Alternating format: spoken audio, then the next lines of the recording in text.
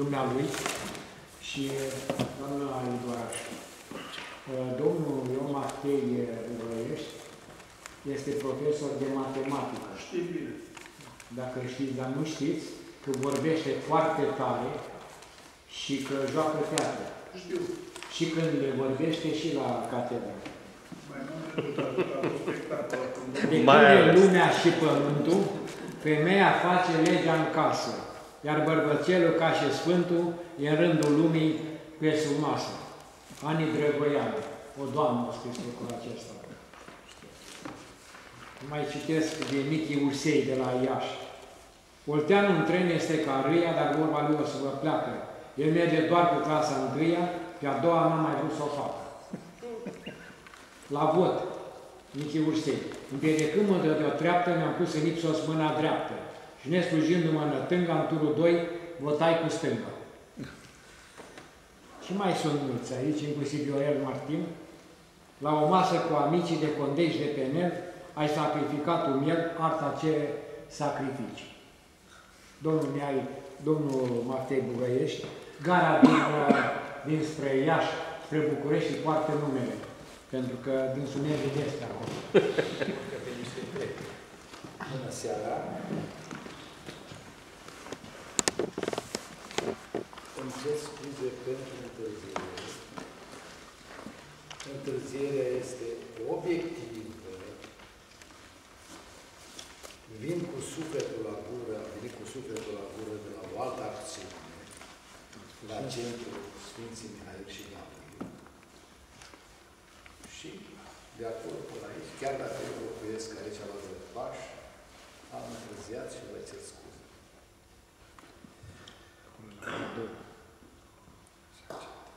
Am uh, cu mine o tolbă de amintiri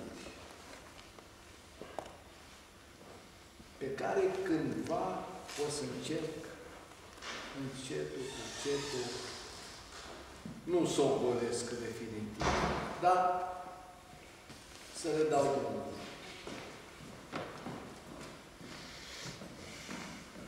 Mă declar fericit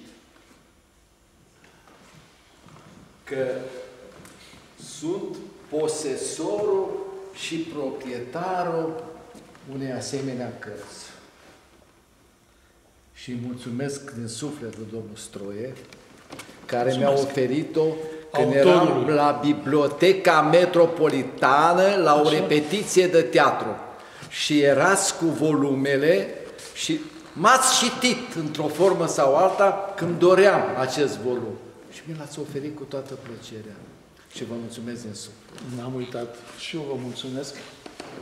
Și acum, această carte mie îmi este și de mare folos. O folosesc în multe împrejurări. Că s-a discutat aici, mai multe aspecte de corectură, de nu știu ce, de nu știu ce, dar eu vorbesc de produsul finit. Care îmi este, mi-a fost și mi este de mare ajutor.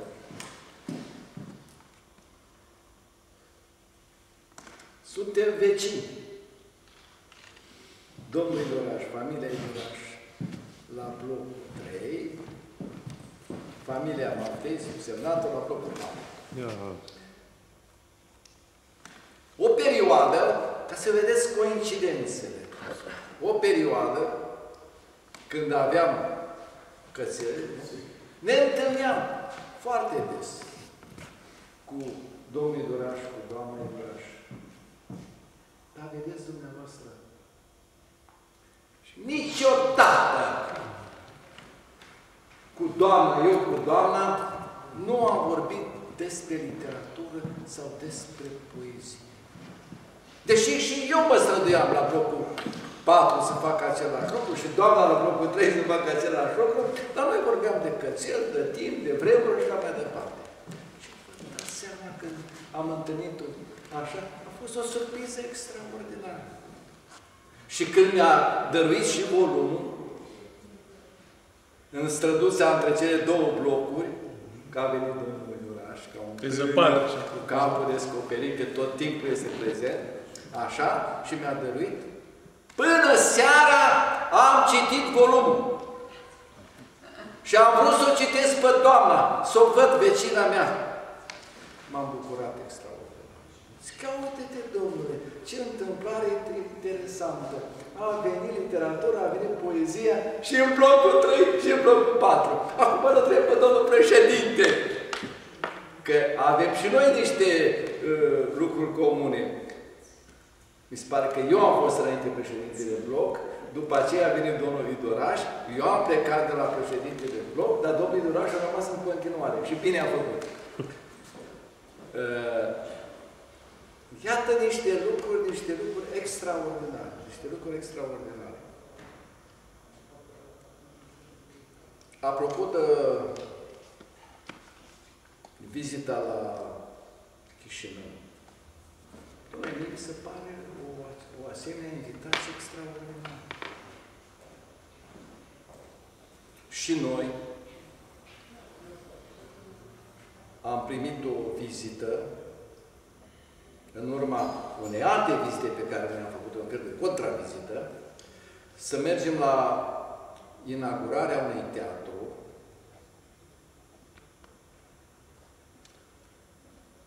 În Bugeac. nu? în Republica Moldova. Și noi acum ne pregătim zor pentru această vizită în Republica Moldova.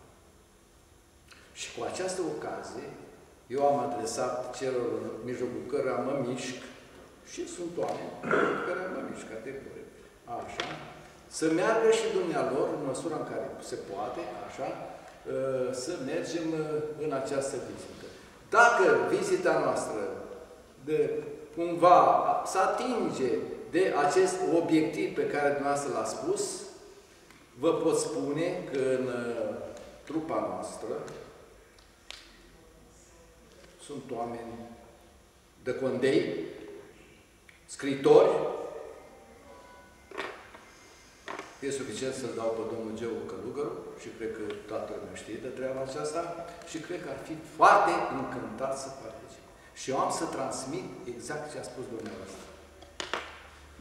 Când eu am venit aici, tiptir, tiptir, tiptir, să nu deranjez, am asistat la niște vorbe spuse de domnul Orațiu. Este adevărat. Este adevărat. Înainte de 89, erau editurile de stat, nu? cu formații clare, cu redactori, tehnoredactori, corectori, așa mai departe, cu care eu am avut posibilitatea să lucrez în matematică, vorbesc de data aceasta, în special cu una dintre cele mai vestite edituri, editura didactică și pedagogică. EDP-ul. Am avut atunci și pentru desene și pentru tot. Deci eu nu am fost decât izvor de creație, iar restul au fost oameni care s-au ocupat de lucrul acesta. Nu știu ce s-a întâmplat, că da, s-a întâmplat. Dar știm ce s-a întâmplat, dar s-a întâmplat. Editurile care au apărut și s-a spus că sunt multe sau puține, nu au asemenea persoane, nu au asemenea organisme. Și atunci vă pot spune cu ce mă confrunt eu la ora actuală. Deci, în cursul timpului, am colaborat, zic eu, cu edituri serioase, editura universitară, care aveau jumătate de personal. Extraordinar. Și puteam să discut și pe chestiile de corectură și de tehnoredactare și așa mai departe. Și acum am scos primele mele volume de poezii. Sigur.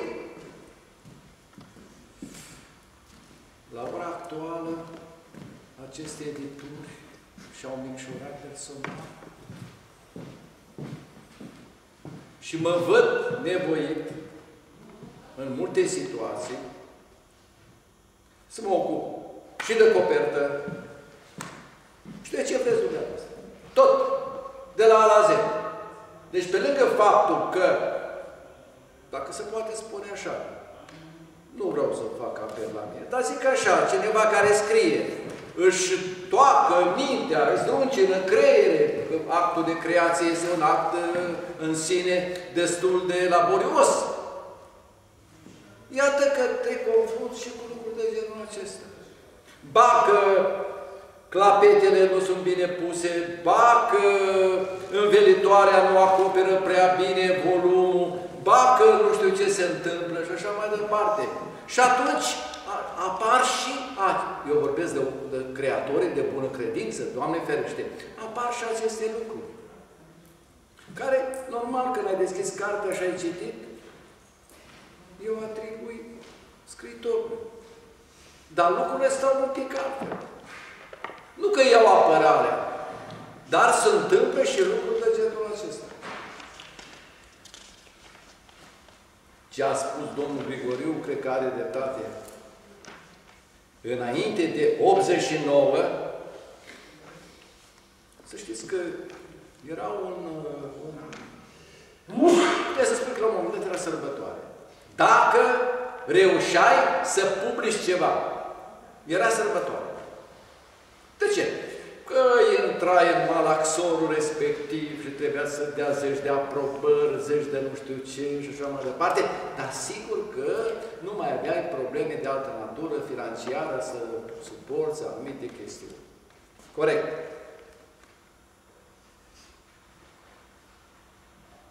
Dar probabil că lucrurile vor merge în această direcție. Cred că în această direcție și aici vom asista la o liberalizare. Nu știu ce se poate face, dar cred că lucrurile se vor aranja și de la sine. Eu mi-aduc aminte de o discuție pe care am avut-o cândva cu cineva. Și discutam. Băi, stănică, îi spuneam cu persoana cu care discutam, ce părere ai? Ce se vor întâmpla cu mașinile acestea, dacele respectiv și cu tare? El zice, eu știu, zice, domnul profesor, zice, o să meargă la țară, o să meargă nu știu unde. Adică zic, se va întâmpla un fenomen. Ne vom trezi într-o zi că noi mai vedem. Și așa a fost. Ați văzut? S-au găsit mecanisme care să regleze și iată că mașinile de care noi ne plângeam, încetul cu încetul, au dispărut. Așa că mă gândesc și aici, se va, va fi un fenomen de autoreglare, care va porni, cred eu, din interior. Domnul profesor Rădulescu a amintit ceva de literatura din uh, spatele gradilor, ca să vă pot exprima așa. Profesor, eu nu știu în ce măsură este controlată această literatură. Că am auzit că e și una științifică. Nu știu în ce măsură este controlată. Dar acum am înțeles că se fac totuși niște analize, niște demersuri în sensul acesta de a se regla și lucrul acesta. Dar să nu se mai scrie literatură, chiar dacă ești în spatele gratilor, nu cred că... Poftiți? Nu științifice, da. Nu știu în ce măsură e bine să le desfințăm. Din moment ce s-a dat această posibilitate, din potrivă, poate ar trebui să încurajăm, știți? Zice,